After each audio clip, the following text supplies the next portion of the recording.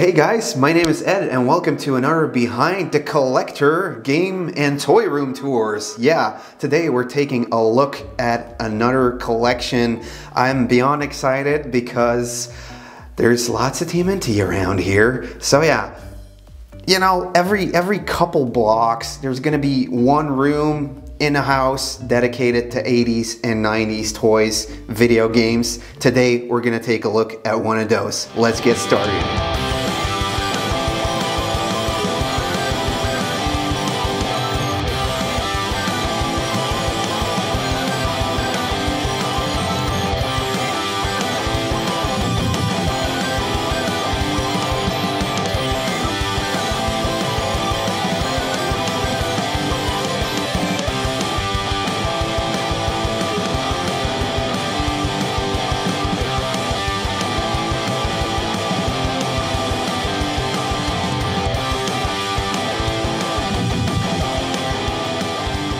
Today we're over at Stockman's Collection. You can find this guy over on Instagram. I'll leave a link down below. This guy has 80 square meters of retro goodness. It's all divided over three rooms, two of which are already really decorated. As you can see over here, this looks freaking amazing. It's one of the cleanest, cleanest video and toy rooms I've been in. Uh, I should take an example to this. And there's one room that's kind of like, I'm gonna call it the archives. He's still working on some stuff in there and it's gonna look like this in a couple months, hopefully. So yeah, let's take a look at some of these turtles.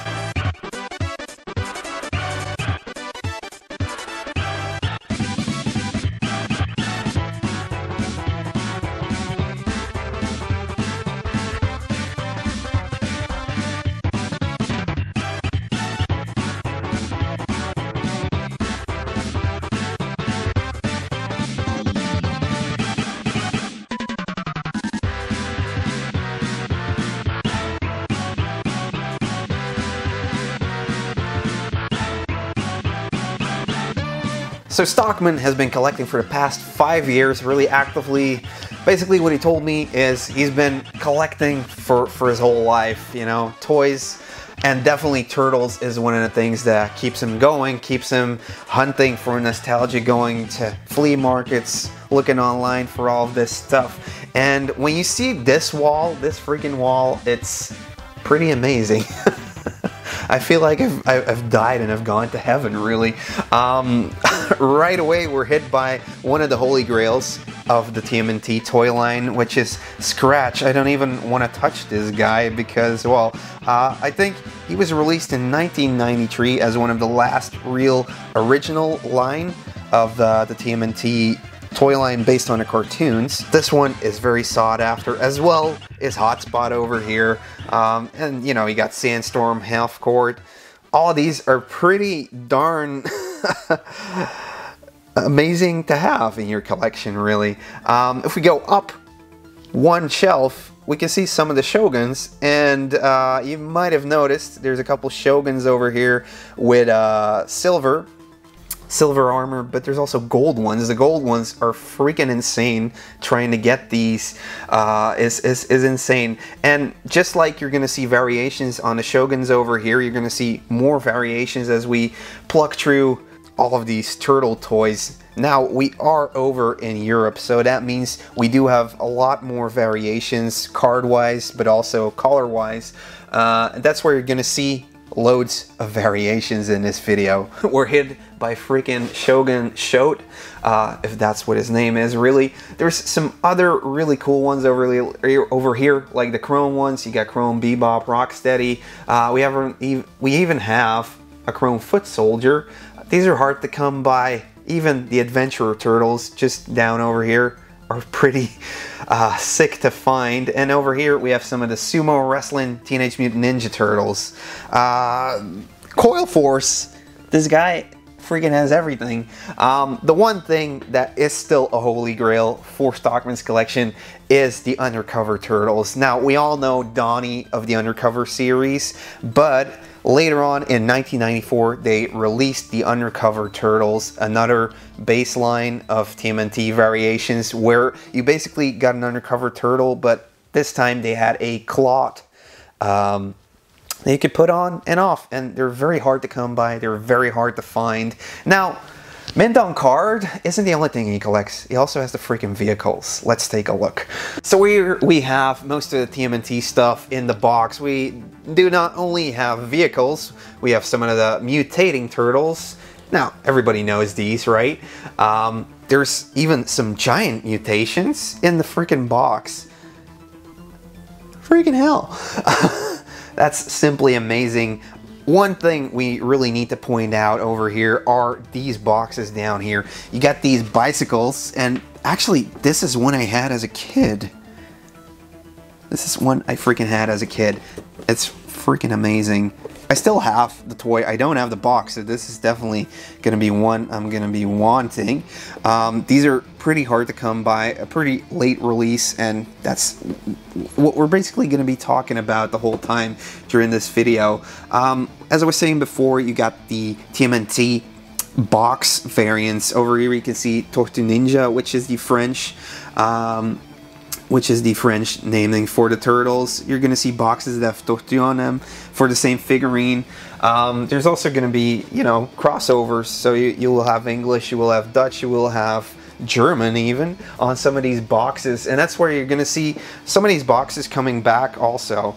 Um, if we take a look over here, we got the mutant module. And one of those is the hero ones because basically over here, uh, they couldn't say ninja in the UK and I I think in Germany neither, so they had to rebrand it to Teenage Mutant Hero Turtles. Um, sought after, pretty sought after. We got a Seal Sewer playset, one of my favorite playsets of all time, uh, a Technodrome, and these are basically like the two big playsets you had within uh, the Turtles toy line. Freaking amazing. Cool to point out over here, and I think we have the whole series of the caveman turtles. These are freaking amazing. I'm gonna be saying freaking amazing a lot over here. I'm, I, I, I have like Leonardo. He has them all in the freaking box. That's amazing. You got the turtle blimp, uh, one of the coolest vehicles in the cartoon. The blimp too, he also has in the box. And this one is of course, uh, to me, it looks more like the blimp we saw in the cartoon. So yeah, it's really cool to have that variation. Even some more blimps. Uh, this one is Tortue Ninja, you know, it's in French, a little more beat up, but still cool to have the box variant. And over here, in the end of the toy line, because it, it took till about 1997 till they decided to call it quits and go with the next mutation, which wasn't too good, in my opinion. Um, they came out with all these mini mutant transports and just little play sets. Uh, they put out so many of these little ones. He has a couple, so that's freaking amazing. And lastly, I'm going to point out this one TMNT thing. Uh, I'll probably point out more TMNT, but this is a Channel 6 news van with a box. Also a freaking holy grail.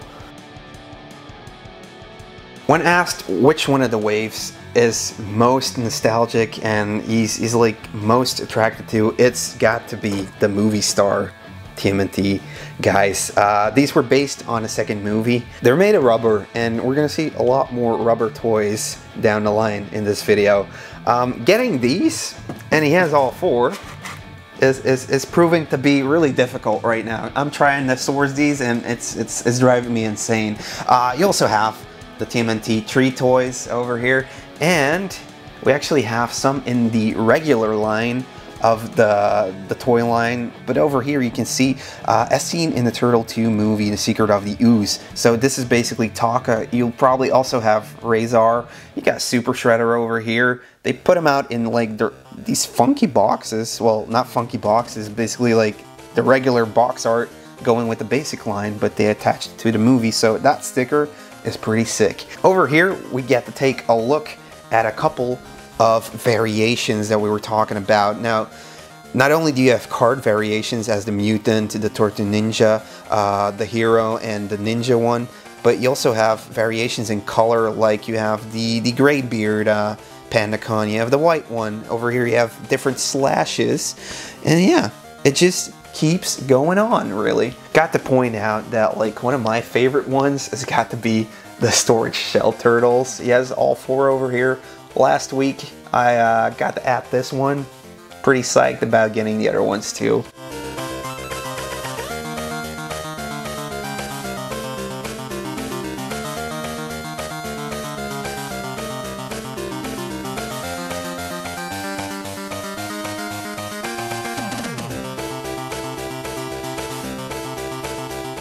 One thing that really pops up in your eye when you head into this first room is the display of loose figures. This is done freaking amazingly. It's, it's giving me ideas to display my loose toys because basically they're all in a freaking tub. But over here, you not only have a clear overview of what you already have in your collection, but you get to enjoy it by looking at it all the time. Over here, we have a blue chrome dome.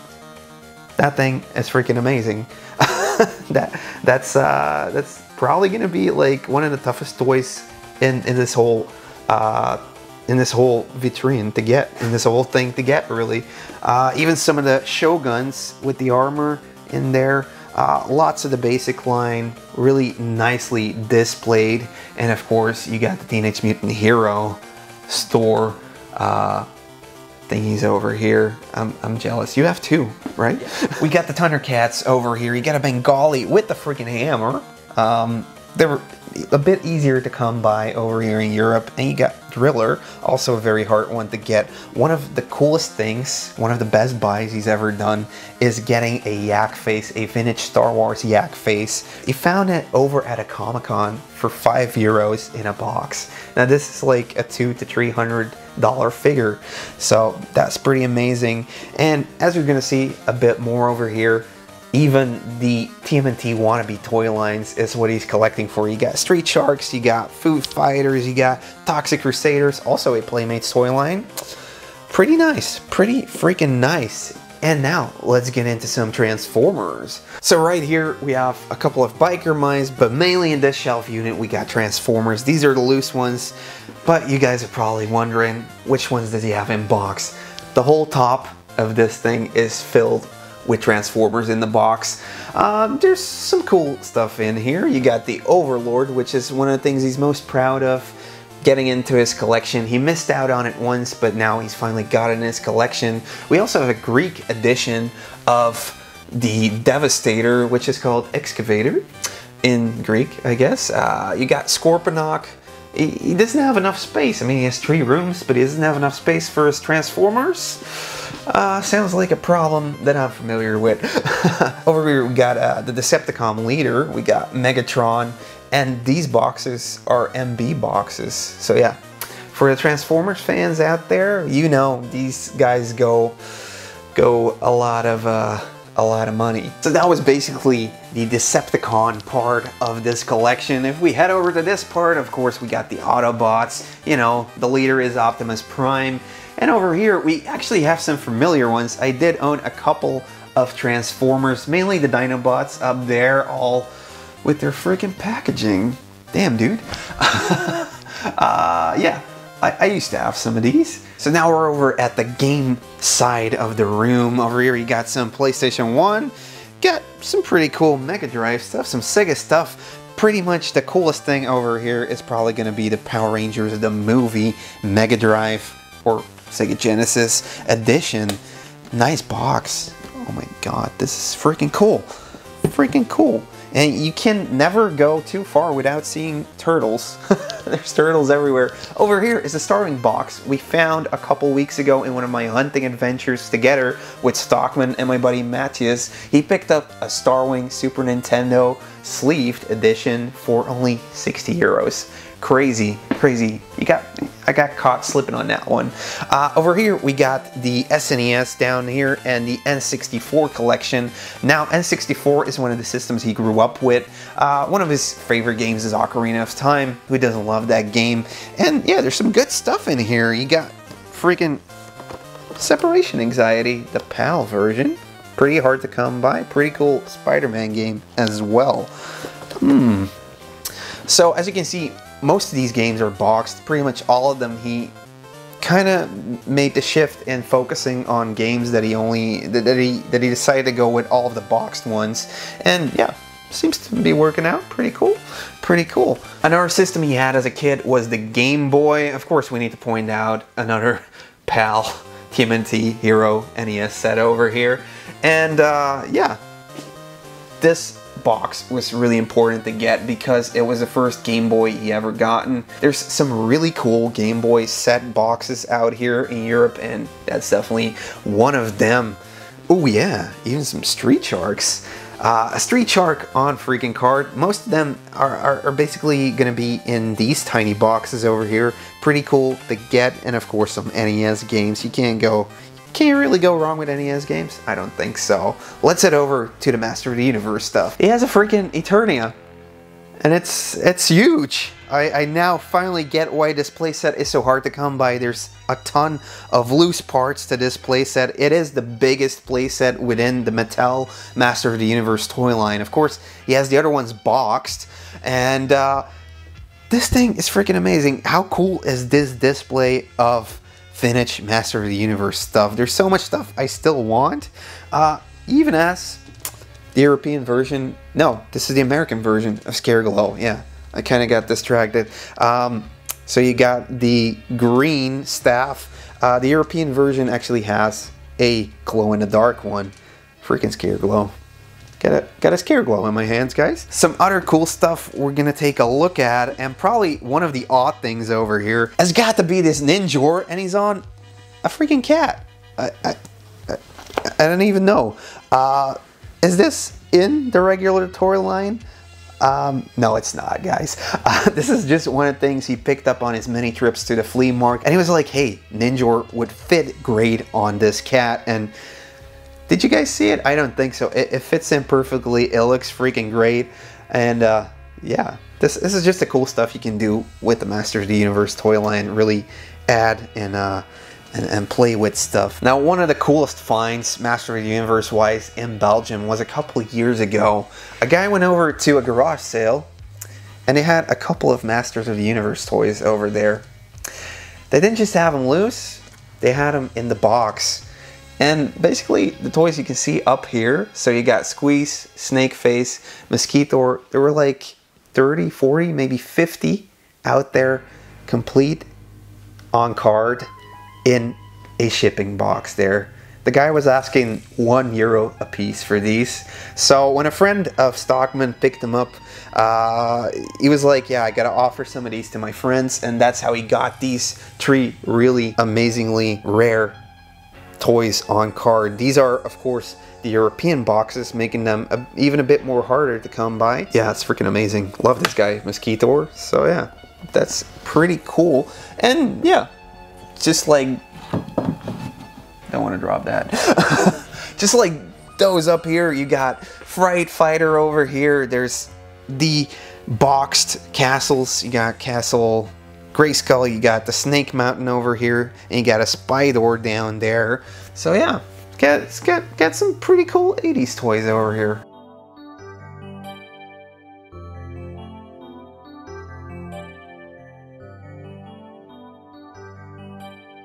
Then we strolled down the hallway and over here we're met by G.I. Joe figurines pretty cool G.I. Joe figurines and even some European exclusives. You got Spirit over here, uh, a really cool Indian dude, and you got the Tiger Force. These ones are pretty sought after. I actually really love the way this is displayed. These cases are freaking amazing, great for displaying your G.I. Joes. And there's a freaking gremlin over there.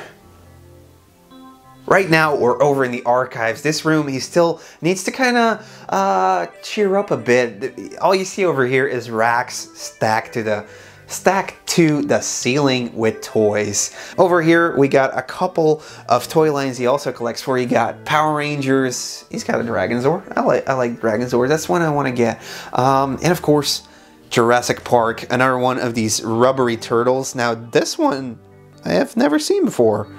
Um, this one is probably one you're really gonna want to get. Jurassic Park over here. There's even some Jurassic Park toys in the box down here.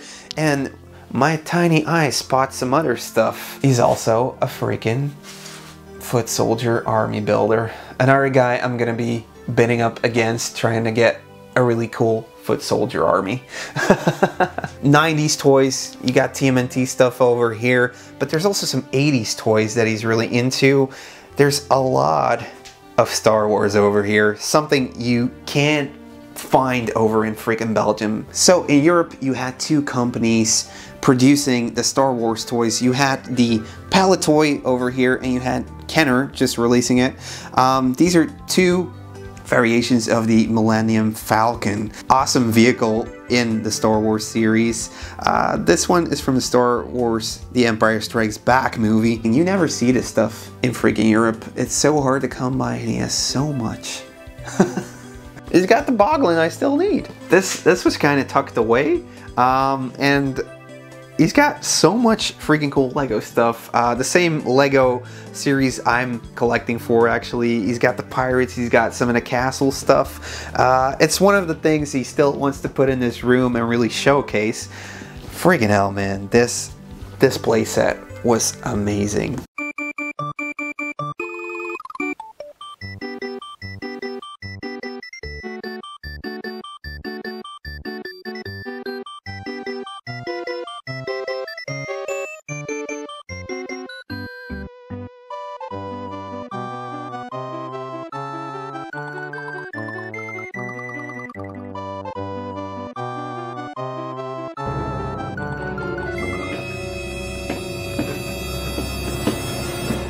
So as you can see, there's still a bit more work to be done over in this second room. There's still something to be found in every little corner you pass into. So much retro stuff. It is freaking amazing.